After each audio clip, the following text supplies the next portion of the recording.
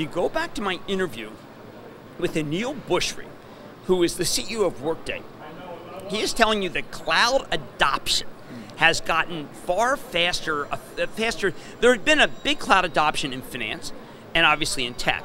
He's saying now healthcare and retail, which are very big sectors, are moving aggressively on the cloud. So what that tells me is be careful downgrading Adobe if the story is morphing into a more longer term view because they are how you do a commercial cloud uh, marketing and I like them. By the way, I think that Salesforce has come down enough. And I would initiate a position in Salesforce. Now, when I say that on Twitter, people say, that people come in and say, I bought all of the Salesforce at this level, and now you crush me. So I say if you do that, you might as well be shorting Salesforce. I am not talking about you.